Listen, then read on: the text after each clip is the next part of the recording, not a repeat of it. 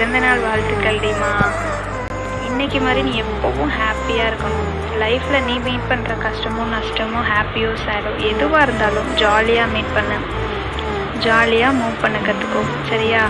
ஹாப்பியாக இருந்தாலும் ஷேடாக இருந்தாலும் ஹாப்பியாக உன் கூடவே வச்சுக்கோ. சேடாக இருந்தால் உடனே தூக்கி போட்டுரு. எதை பற்றியும் கவலைப்படாமல் எந்த விஷயமா இருந்தாலும் ஃபேஸ் பண்ண ரெடியாக இரு. ஏன்னா உன் பின்னாடி உன்னோட ஃப்ரெண்ட்ஸ் நாங்கள் இருக்கோம். ஓகே